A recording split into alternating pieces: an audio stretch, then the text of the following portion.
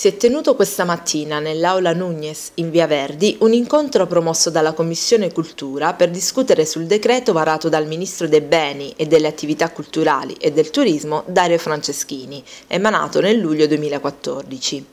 Presenti al confronto il presidente vicario dell'Artec Campania Gianni Pinto, il presidente dell'Agis Campania Luigi Grispello e numerosi protagonisti della scena teatrale napoletana.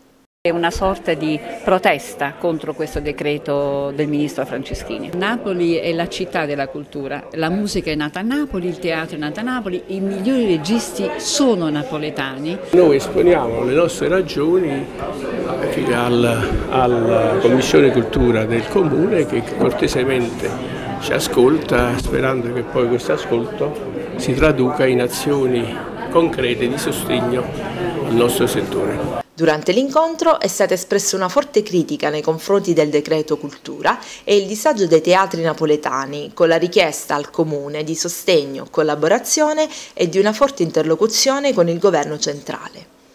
A sottolineare l'impegno che il Comune ha sempre avuto e continuerà ad avere nei confronti dei teatri partenopei è intervenuto l'assessore alla cultura Nino Daniele per ricordare alcune delle iniziative culturali proposte da questa amministrazione. Grazie appunto al contributo di tante straordinarie energie, soprattutto giovanili, stiamo cercando di animare la vita culturale della nostra città eh, vorrei ricordare in, in, ultimo questa bella settimana che abbiamo chiuso con Piano City, un evento veramente straordinario.